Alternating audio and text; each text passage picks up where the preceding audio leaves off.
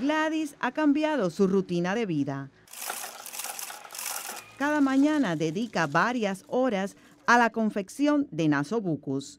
Ella es la líder de la asociación Las Hijas de las Acacias en Santiago de Cuba. Cuenta que otras hermanas de Loquia también lo hacen y así han regalado las imprescindibles mascarillas a vecinos y trabajadores de diferentes sectores de la sociedad.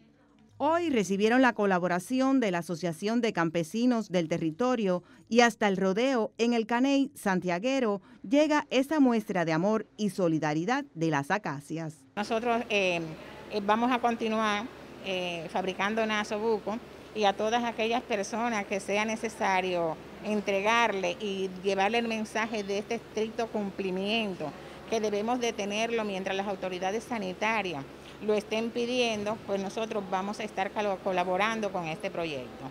En la minindustria de la Cooperativa de Créditos y Servicios Mártires del Caney, los trabajadores reciben el gesto con total agradecimiento. Este donativo que acabamos de recibir es muy útil para nosotros, ya que nosotros lo usamos permanentemente aquí para hacer cumplir la inocuidad de los alimentos, que es algo indispensable en estos momentos en la alimentación del pueblo y entonces queremos agradecerle de corazón este donativo. Caridad Franco, Sistema Informativo de la Televisión Cubana.